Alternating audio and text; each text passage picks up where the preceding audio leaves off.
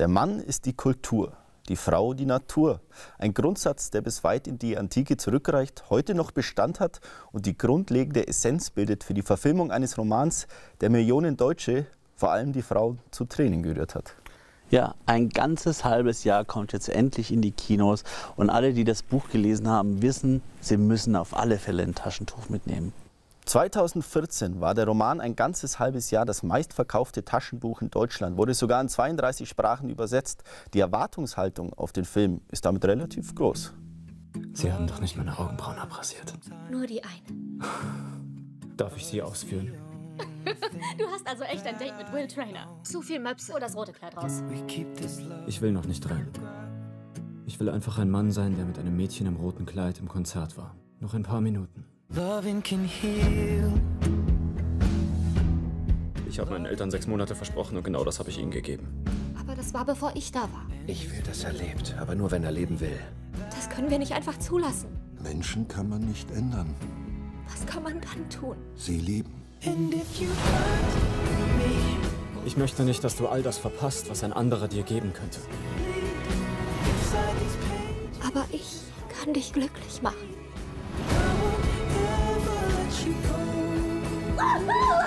Du hast aus mir einen vollkommen neuen Menschen gemacht.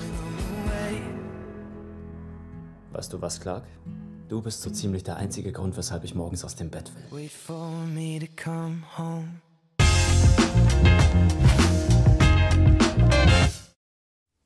Im Mittelpunkt des Films steht die nicht alltägliche Liebesgeschichte zwischen Louisa Clark und Will Trainer. Sie, eine zukunftslose, aber recht straighte, taffe Frau. Er, der schillernde Milliardär, der eigentlich im Leben alles erreicht hat, bis das Schicksal kam und sein Leben komplett auf den Kopf gestellt wurde.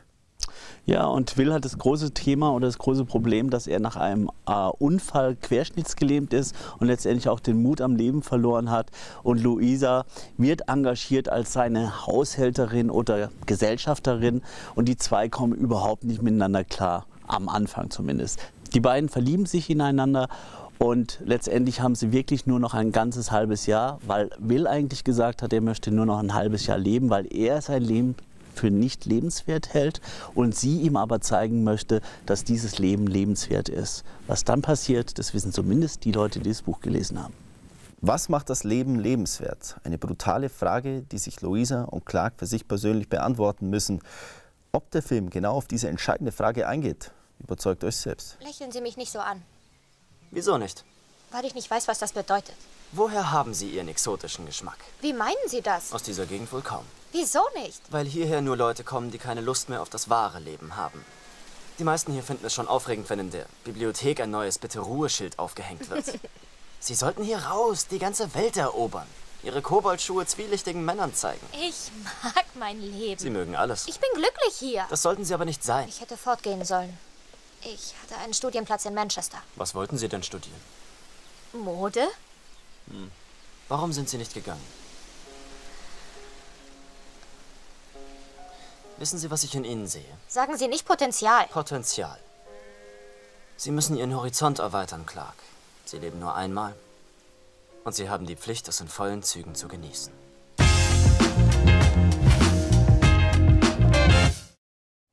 In der Verfilmung des Romans, bei der Jojo Moyes höchstpersönlich das Drehbuch verfasst hat, spielen einige bekannte britische Film- und Serienschauspieler mit, die bei ein ganzes halbes Jahr ein anderes Gesicht zeigen, als man es von ihnen gewohnt ist. Ja, also zum Beispiel Sam Claflin, den kennt man aus Die Tribute von Panem. Dort hat er den wunderschönen Figgins gespielt und hat die Frauenherzen wirklich im Sturm erobert. Der spielt jetzt Will und an seiner Seite Emilia Clarke, die kennen die taffen Jungs aus Game of Thrones.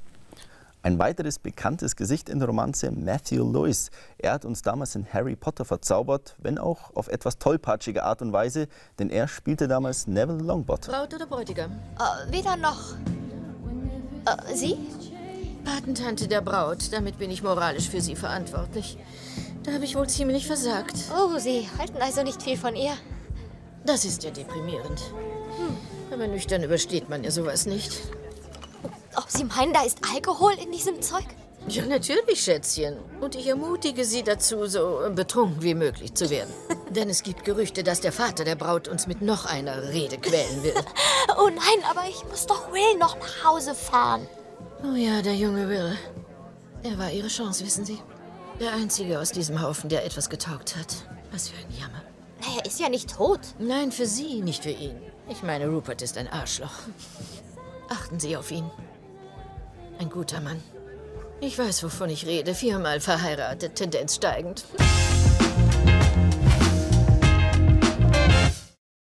Ein ganzes halbes Jahr ist natürlich ein ernster, sehr sentimentaler, sogar trauriger Film, der sich mit einem Thema beschäftigt, das in unserer heutigen Gesellschaft oft verdrängt wird. Was macht das Leben lebenswert? Was kann ein querschnittsgelähmter Mann für Gefühle aufbauen? Wie bringt uns die Regisseurin diesen Roman richtig rüber? Ja, also mit dem Film wurde aber nicht nur ein Drama geschaffen, sondern wirklich eine schöne Love Story. Und natürlich muss man rausgehen aus diesem Film und denkt über sein eigenes Leben erstmal nach. Ähm, passend zur EM, also ein gutes Kontrastprogramm ist da gelungen. Wirklich ein ganzes halbes Jahr ist ein sehenswerter Film. Wer zum Beispiel Filme mochte, wie Das Schicksal ist ein mieser Verräter, wird da wirklich absolut gut aufgehoben sein. Die Kritiken, die hassen diesen Film. Sie haben ihn wirklich verrissen, aber das Publikum liebt ihn. Der hat wirklich bei den Zuschauern nur Bestnoten bekommen und war auch in den USA zu Recht Platz 1. Ein ganzes halbes Jahr wird sicherlich zum Nachdenken anregen, euch emotional aufwühlen und natürlich auf die Oh, Tränendrüse ich glaube, drücken. das hier wäre immer noch mein Lieblingsort. Weil sie noch nirgendwo waren. Oh. Wo ist es denn besser als hier? Paris. Place Dauphine, gleich am Pont Neuf. Na dann los, wir könnten auf der Stelle in den Eurostar steigen. Nein, Sie haben doch gerade Sie gesagt, verstehen nicht, Clark. Ich möchte als ich in Paris sein. Das alte Ich. Mit hübschen Französinnen, die mich anlächeln. darauf könnte man sich doch freuen.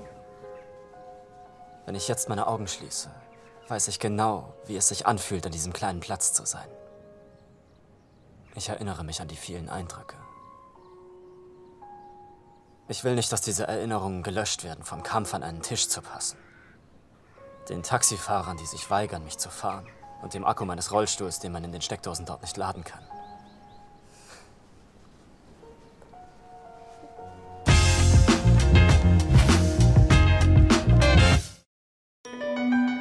Showende, aber nur für heute. Das GOP Varieté Theater mit der Show Die Clowns Company präsentierte die Szene München.